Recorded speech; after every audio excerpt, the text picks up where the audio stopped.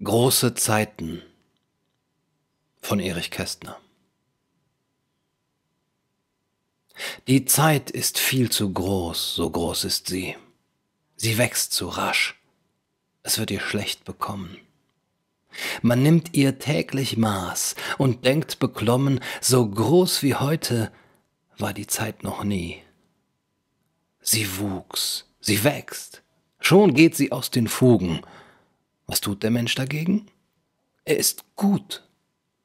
Rings in den Wasserköpfen steigt die Flut, und Ebbe wird es im Gehirn der Klugen. Der Optimistfink schlägt im Blätterwald, die guten Leute, die ihm Futter gaben, sind glücklich, dass sie einen Vogel haben.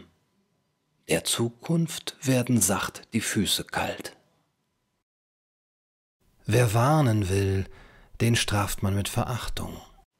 Die Dummheit wurde zur Epidemie. So groß wie heute war die Zeit noch nie. Ein Volk versinkt in geistiger Umnachtung.